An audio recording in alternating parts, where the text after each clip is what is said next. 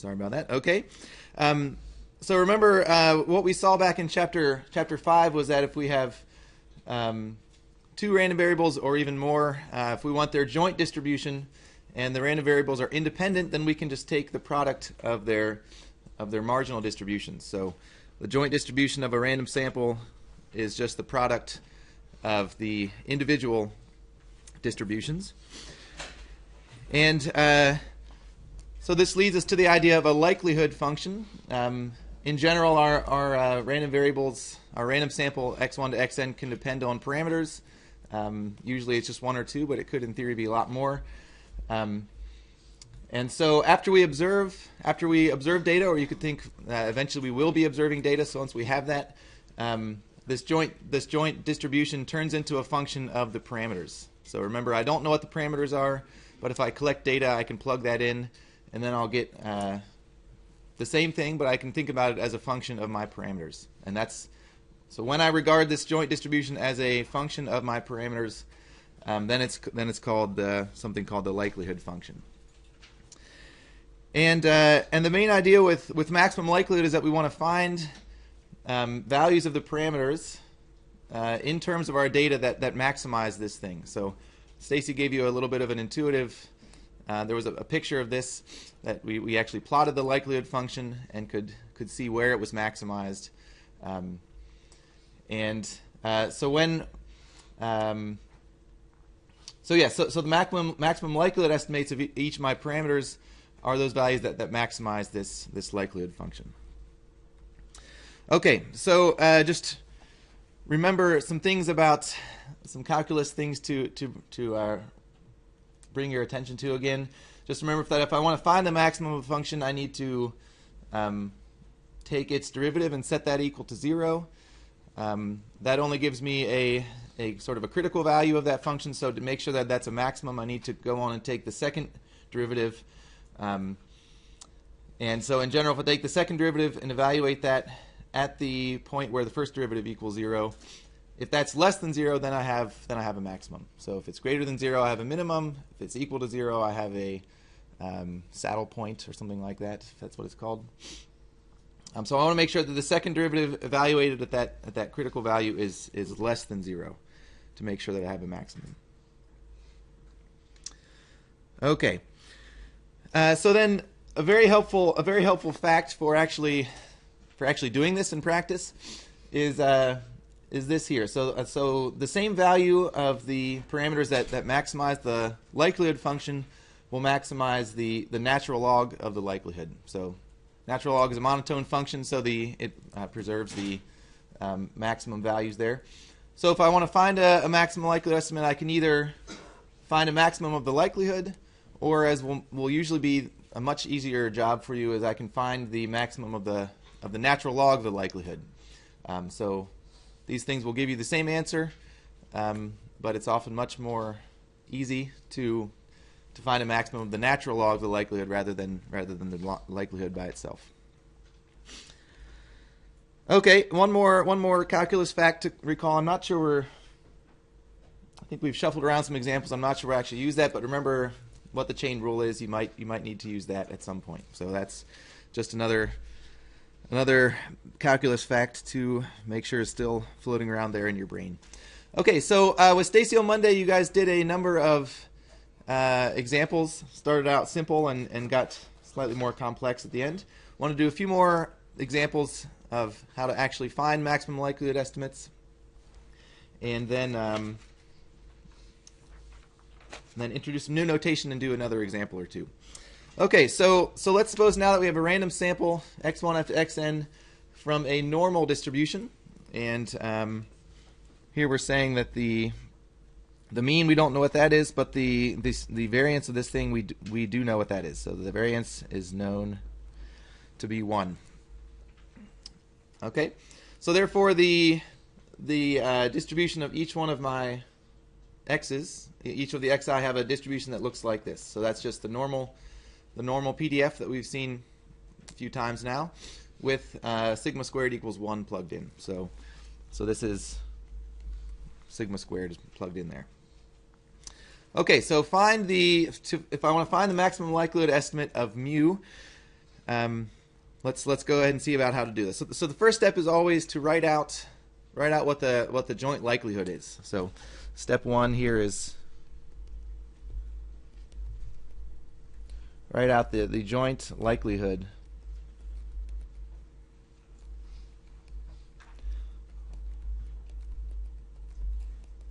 for your random sample here. So uh, the joint distribution here, sorry, let me say joint distribution.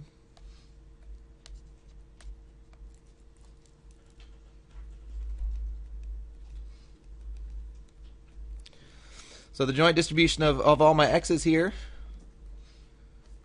uh, which depends on mu, is going to be simply the product. So remember that large pi symbol is, is the product um, of the individual densities here.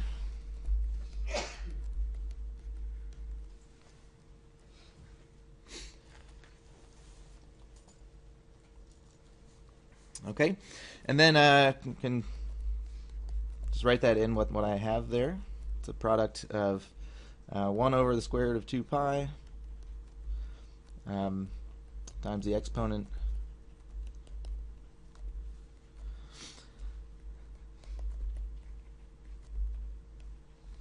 just filling in there what the the individual densities are.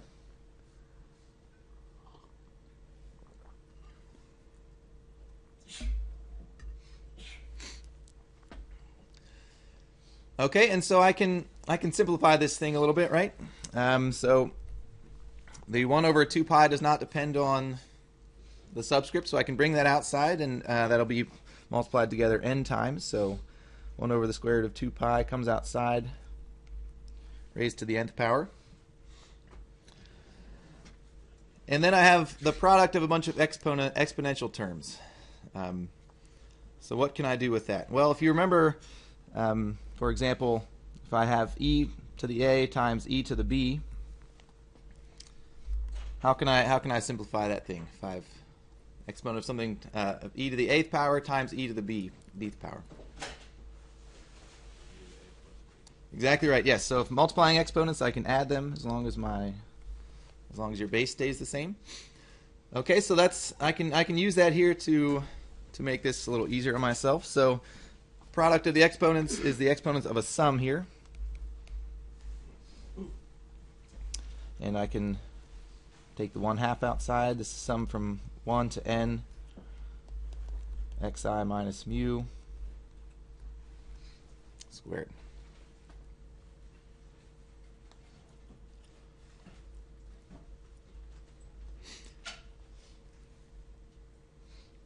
Okay, everyone okay with the exp meaning exponential?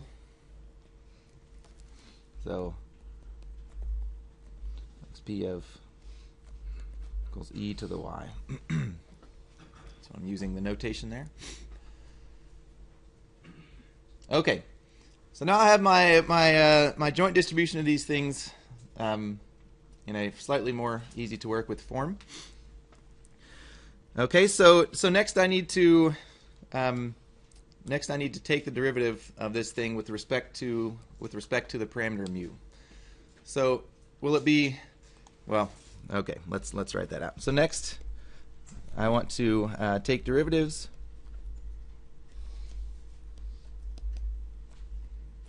With respect to mu. Um, so that's the derivative with respect to mu of the joint distribution.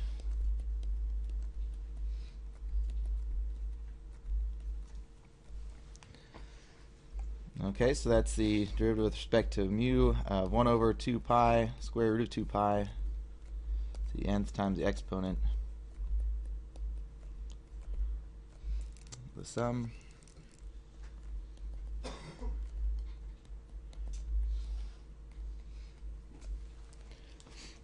Okay, and does anybody want to take that derivative? Uh, it would, would be possible, but it would be very messy. So instead, let's let's instead take the uh, try taking the, the derivative of the natural log of of my of my li likelihood here. So instead, I'll take the derivative with respect to mu of the natural log of my of my likelihood here. So x1 to xn. So the derivative with respect to mu of. Okay, so I think you guys talked about. That was in here. Well, it's a good time maybe to review some properties of, of the natural log. So, um, natural log of a product is is what? So if I have the natural log of a times b, um, how do I how can I simplify that? Addition, right? Yes. Yeah, so natural log of a plus the natural log of b. That's going to be the the biggest one to use. Um, so this is um, natural log. My likelihood is uh, the natural log of 1 over square root of 2 pi uh, to the nth power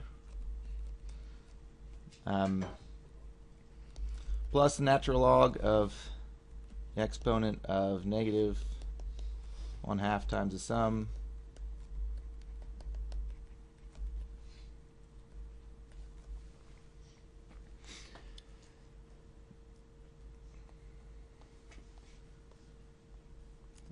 extra parenthesis over there. okay, and of course you can also, um, for that first term, you can take um, exponents down out in front of a natural log. Um, let's jump over to slide in a minute here.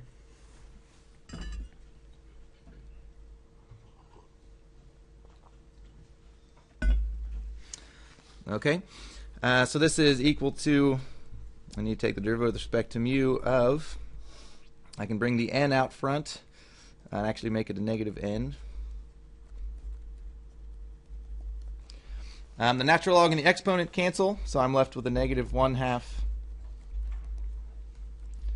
times the sum of uh, xi minus mu squared.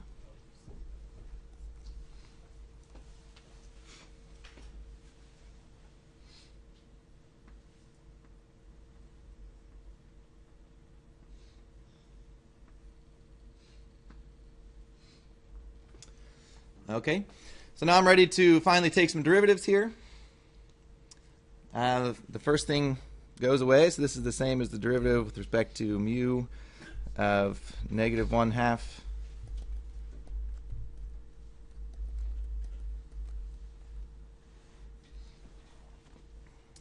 Yeah. Uh, and again, derivative of the sum is the sum of the derivatives, right? So this is Take the derivative inside the sum.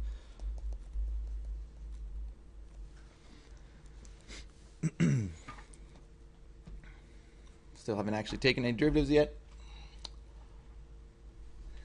Uh, and so I can take the derivative of that inside term is uh, is 2 times uh, xi minus mu times negative 1 there.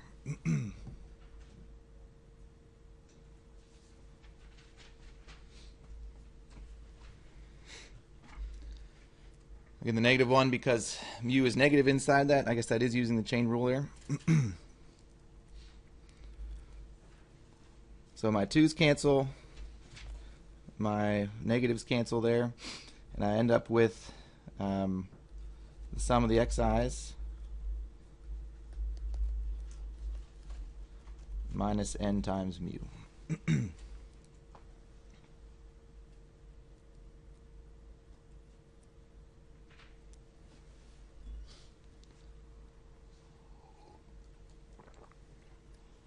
Everybody staying with me? Okay. Okay, so now I have my derivative, and uh, now I need to, to figure out where this thing is, uh, has a maximum. I need to set this equal to 0. So I need to set the sum of the xi's minus n times mu equal to 0. And that means that my, my possible estimate here is uh, 1 over n times the sum of the xi's, which is the which is the mean. Lo and behold.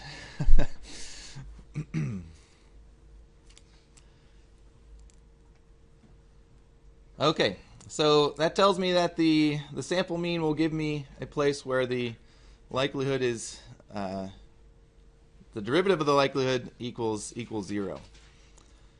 So again, I need to make sure that again remember the derivative equaling zero does not necessarily guarantee that I have a maximum. So to make sure I have a maximum, I need to take the second derivative and make sure that's less than zero.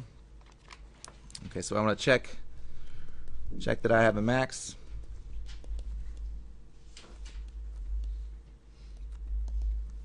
and that involves taking the second derivative. So take second derivatives here of the natural log of the joint distribution of the like, log of the likelihood, which is just need to take the derivative now of what we just found above there, sum of the xi's minus n times mu. So that's the first derivative. Just need to take the derivative one more time. And that equals just plain old negative, negative n. Okay, so is that is that less than zero? Well, yes, of course it is, because n has to be a positive number.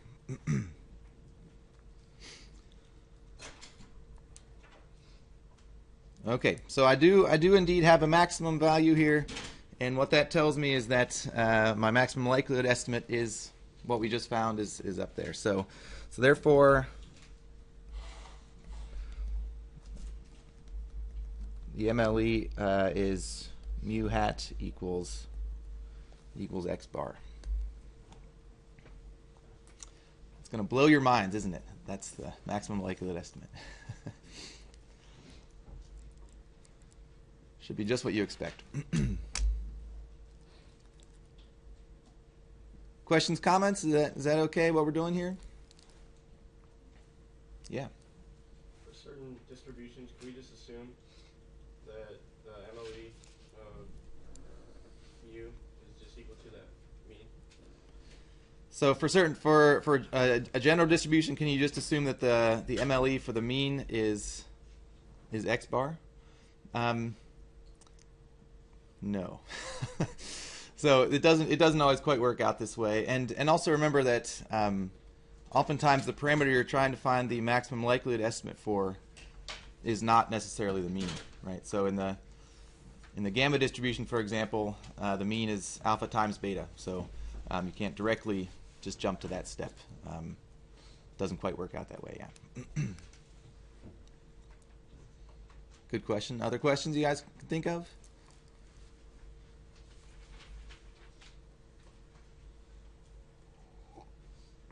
Is this fine? No big deal? Feeling okay? All right. Okay, so uh, unfortunately, we can't always use calculus to find uh, maximum likelihood estimates, um, and this shows up. This shows up on your homework.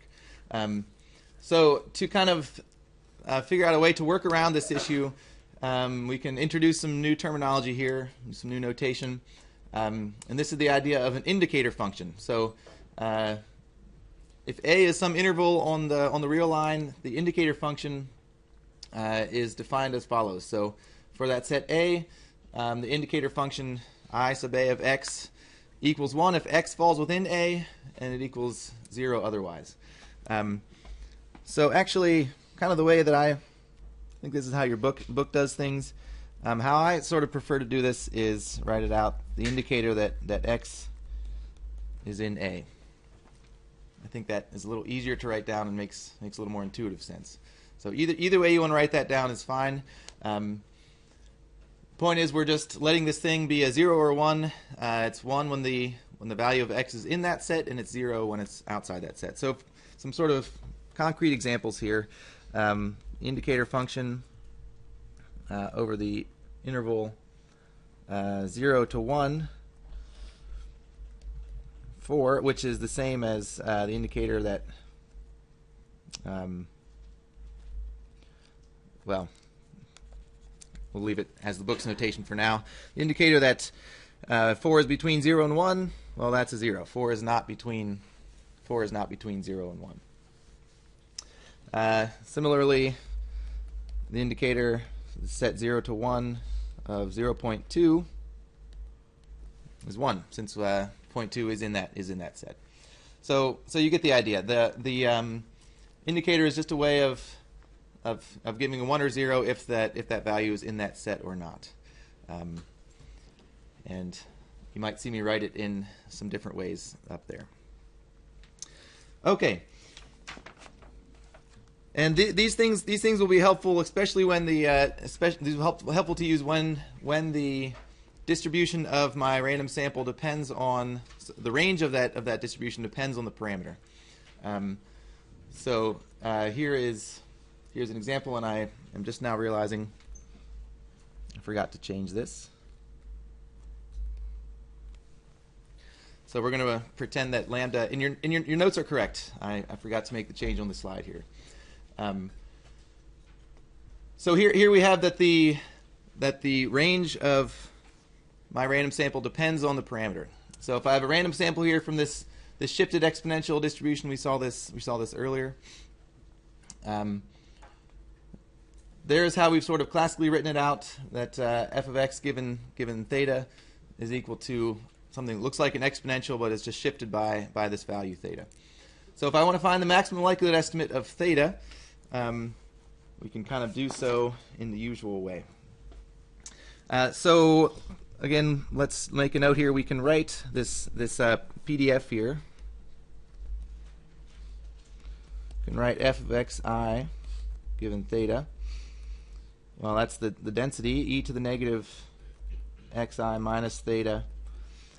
Um, but then instead of defining it in that uh, in the way we've done it up there, I can I can multiply this times an indicator function of making sure that the xi is bigger than or equal to theta.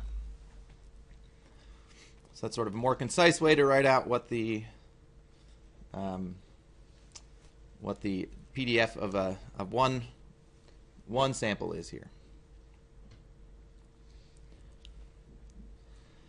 Okay, so then again, my first step is to write out the, the joint distribution. Um,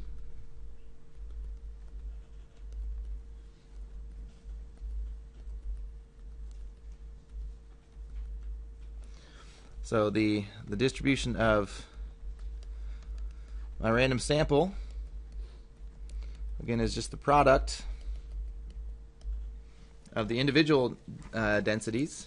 So that's uh, e to the negative xi minus theta times the indicator that xi bigger than or equal to theta.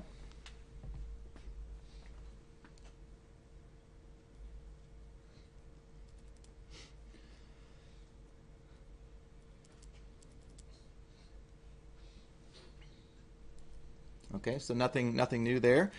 Um, and then we can again we can try to we can simplify this thing. So again the I have a product of a bunch of exponential terms. Uh, so that'll be the exponent of turn into a sum. This is the negative sum from i equals 1 to n xi minus theta. But then I still have this product over here of indicator functions. So indicator that um, xi is bigger than or equal to theta.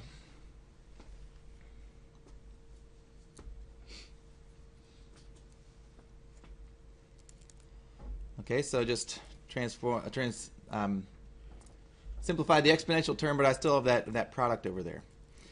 Okay, so this is uh, again this is the indicator that the first one is bigger than or equal to, th- to theta times the indicator that the second one is bigger than theta all the way up to um, indicator that the last one is bigger than theta. Okay, so I, I, have a product of things here, right? Each of which is is one or zero. Um, so my argument to you here is that this this here equals equals one, um, if and only if um, the smallest xi is bigger than theta, right? So if I if I put my x1, x2, xn all the way up to xn in order, um, as long as the smallest one is bigger than theta, that whole thing will be equal to one. So this is um, equals to one if and only if the minimum of the xi's is bigger than or equal to theta.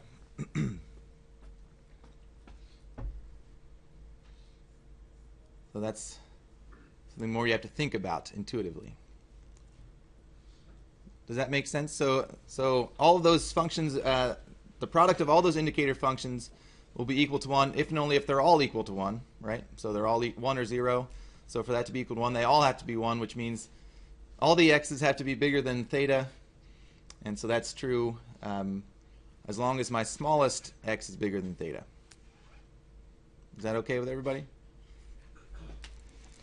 Um, so then I can write this as the exponent of negative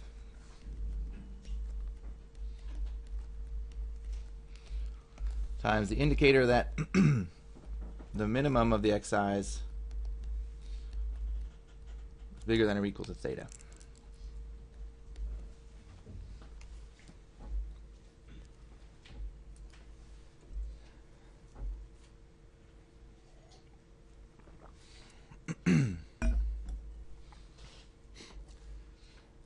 Okay. So the problem, the problem here, uh, when when we said on the previous slide, unfortunately, we can't always use calculus here. Um, is how do you take the derivative? Oh yeah. Could you rewrite the exponential function on the left as like e to the uh, negative x1 plus dot dot dot? Would it would it be would it make sense to think of it like that, or should you use a segmentation just because it's more straightforward? Oh, oh. So if you instead of using the summation notation, if you just did x1 plus x, that, that's fine too. So if you'd rather write, if you'd rather write the sum of the xi's or whatever as uh, x1 plus x2 plus, that's that's fine too. Yeah. Is, is that what you were asking? Yeah. What would what would that look like when you, if you wrote it down? Uh, for for my um, joint distribution down here. Is that what you mean, or? No, no, no. Just for the exponential half. The part to the left. What would it look like? um, this part over here. Yeah. Um, well, so so since I don't have a squared term in my in my summation there, um, the theta can come outside that summation. Okay. So this would be um, just this part here would be the exponent of um, the negatives to come outside. So I have and I have n of those thetas, and subtracting off say x1 plus x2 plus something like that. So so take the log first. Well, yeah. So so so that's that's where we're going next. Yeah. So so um, before we before we think about taking the log of this or the natural log of this, um, the problem here is that even if I take the natural log, I can't I can't take a derivative of an indicator function. It's just a zero or a one, um, and I, I I can't take the derivative of that. It's a discontinuous function, right? Um, so calculus is not going to work in this in this case to to find our maximum likelihood estimate. So what do we do? What do we do instead? Uh, well, instead we can make we can make a graph. So we can uh, do a visual proof here. So my my likelihood, remember here is the the likelihood. This is the exponent exponent of uh, n times theta minus something, right? So minus the sum xi's times the indicator that um, before we written, I wanted to make sure that my the smallest value was um, bigger than theta. That's equivalent to saying that theta is less than the minimum of the xi's. Okay, so if theta if theta is bigger than the minimum of the xi's, then my likelihood is zero, right? Because if that indicator function is zero, it zeroes everything else out. So I pretty much what I pretty much have here is an exponential function of theta that goes up and that that is defined until I get to some value um, the minimum of my xi's. Um, so let's say that this point here is the minimum of my xi's. And so I'll pretty much just have a exponential function that, well, maybe increase faster than this, but is increasing until I get to that minimum value. And then it comes down here and it's just zero for the rest of for the rest of the theta values. So the graph is maybe not to scale, but uh, the idea is that I have an exponential function, so we all know what that looks like. It just kind of goes off um, to infinity, but it's only defined until I get to some value, that minimum of the xi's, and then it's just zero from there on out. And this goes off towards zero on the other direction as well.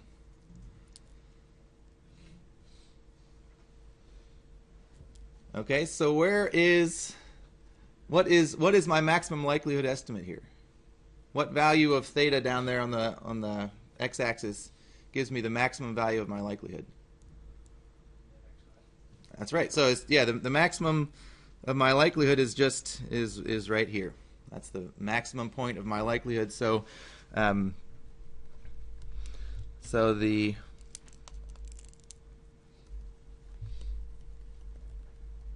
The MLE of theta is um, the minimum of my xi's.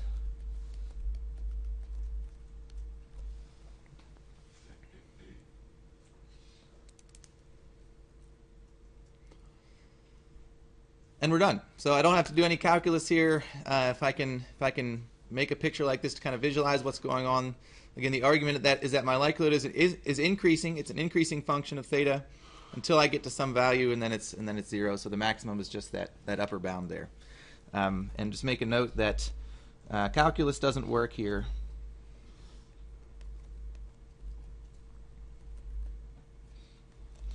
Uh, because the because the maximum occurs at a point of discontinuity. So the likelihood function is not continuous there. So um, the max occurs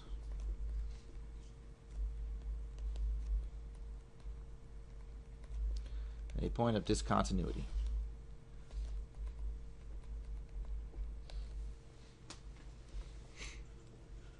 Okay, so we're done there. That's uh, a little more straightforward. Questions, comments? Yeah, absolutely. There or yeah.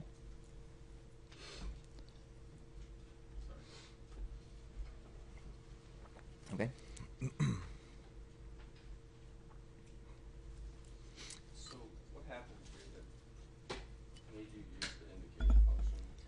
Yeah, good question. So what happened here that made made us use the indicator function? Um, this is just due to the fact that the range. So I used the indicator function because the range of my PDF uh, depends on theta.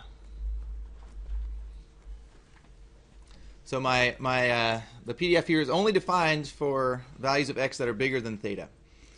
So like with the normal distribution, uh, x could be anything from positive to negative infinity, technically. Um, for the gamma distribution, it's always from 0 to infinity. Exponential is always 0 to infinity. A lot of these sort of standard cases have um, have a range that, that doesn't depend on the parameters. Um, so here in this case, when the range does depend on the parameters, so like the uniform distribution, which is one of your homework problems, which I'll show you guys, uh, we'll talk about in just a second here. Um, those, those things uh, you will want to be using indicator functions when the range depends on a parameter.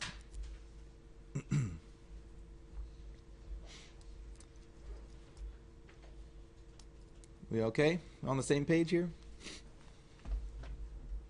Okay.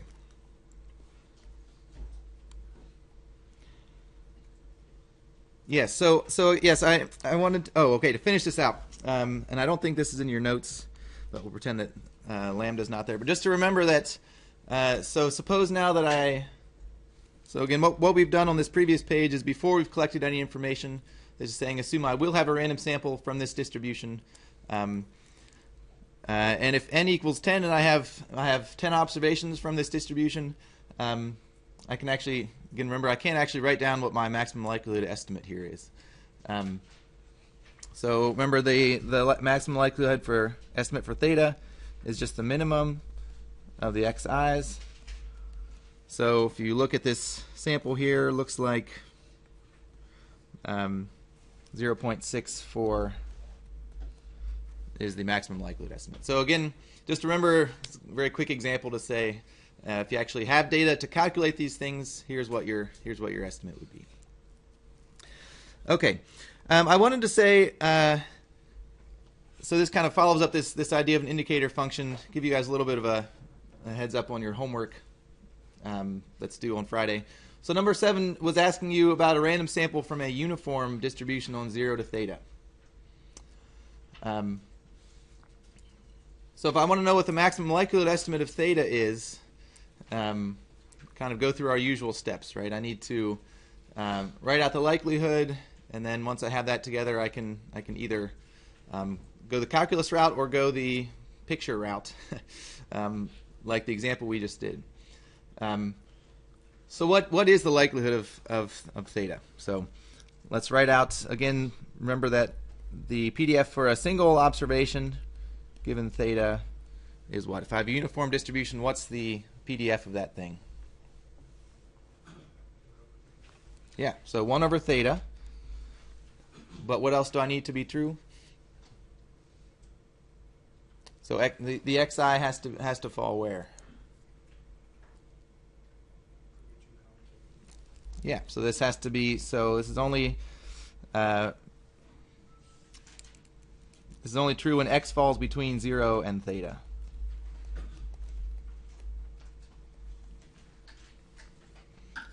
So again, it's a way of just writing out in a single line what my what my PDF is here. Again, before maybe just make the note that before we wrote this thing as this in this bracket, so it's one over theta if um, and it's zero otherwise. So those are the same thing. Again, the using the indicator function just lets you write that all out in one line. So we have the same same notation there, or, or the same the same thing, just slightly different notation. Okay, so then uh, the joint distribution of these things. Um,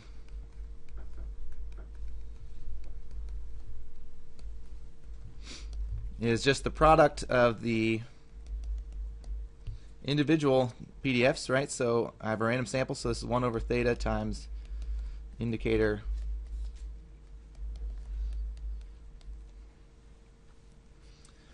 Okay, and I can write this out. Again, the theta doesn't depend on the subscript, so I can pull that outside. That's 1 over theta to the nth power. And so I'll have I'll still have this product of indicators.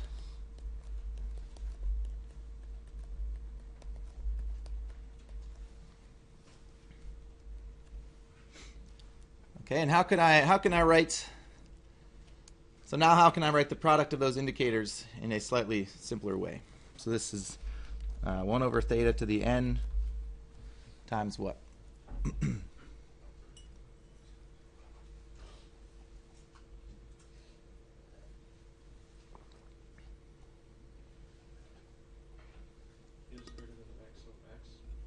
Say that again? Theta is greater than the maximum.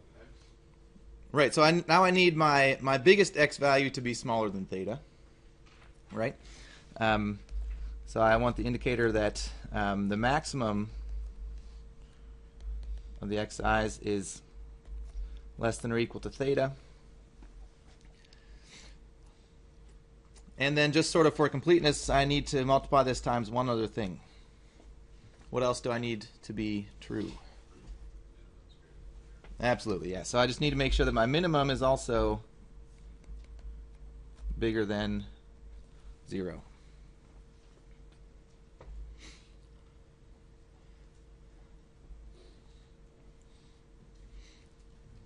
Okay, so writing my likelihood, out, writing out my joint distribution or the or the likelihood for theta out in this way um, is the is the first biggest step of, of finding a maximum likelihood estimate. And then from here, again, if you if you have an indicator function, that's a good si- signal that you're going to need to um, draw a picture because I can't remember I can't take a derivative of an indicator function. Um, so from here, think about um, drawing a picture of what that of what that likelihood looks like, and um, and that should tell you where the what the maximum likelihood is estimate is, and then and then you're done.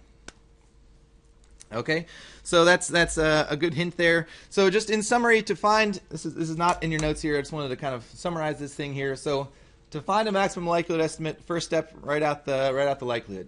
So and and you want to use indicator functions if the range of the x's depends on theta.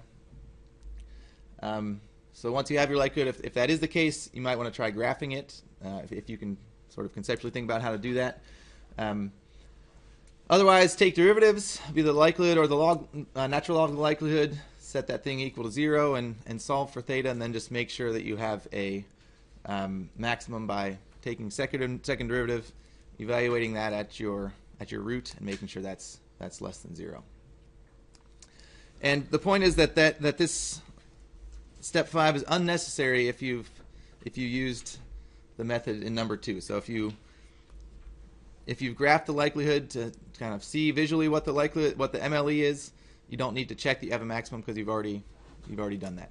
You've done that uh, algebraically instead of uh, using calculus. Okay, so just a few a few more comments about maximum likelihood estimates to finish things off here. Um, MLEs have this really this really interesting thing called the invariance property, uh, invariance principle, um, and that is just that they are invariant to functions. Um, so uh, formally here, if I have if I have a bunch of MLEs, then the MLE of any function of those things is the same function of of the parameters. Um, so for example. Um, if I have if I have a random sample of normal um, mu sigma squared, uh, we won't we won't actually go about doing this, but the the MLE for sigma squared um, is is one over n times the sum.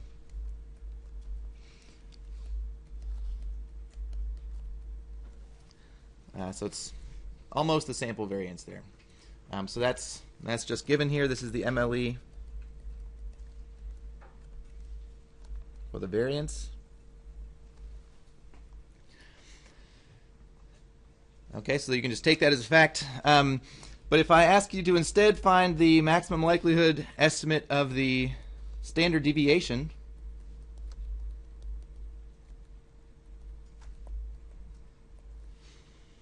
Well, we know the standard deviation is just the square root of the variance, right? So this is um, just going to be equal to the square root of sigma hat squared, which is this the square root of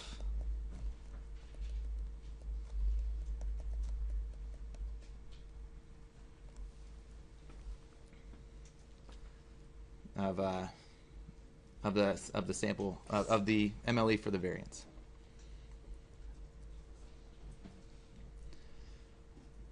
Okay, so you don't have to go through the whole song and dance again of, of uh, finding um, of finding exactly what the MLE of that standard deviation is. You can just use your knowledge of, of the MLE for the variance and take the square root. So that's that's a pretty pretty neat property. Um, and then just a few more sort of uh, notes in statistical nature here that um, the uh, so the maximum likelihood estimate is not always going to be unbiased. Um, but if you have a really large sample size, some asymptotic properties here are that um, if I have a really large sample size, the maximum likelihood will be estimate will be approximately unbiased, and um, we'll have approximately the smallest variance of any of any estimators. So that's that's something we, we did not talk about, uh, but it's in the book. That's that's a nice property.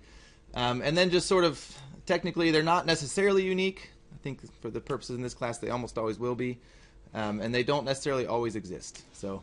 Uh, you can't always use this method, but it is it is very commonly used.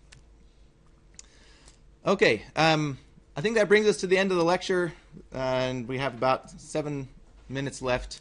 Um, that I wanted to take some time to answer any other homework questions you guys have. I know, I know some of those later problems are, are pretty tricky. Um, so let me quick stop the recording here.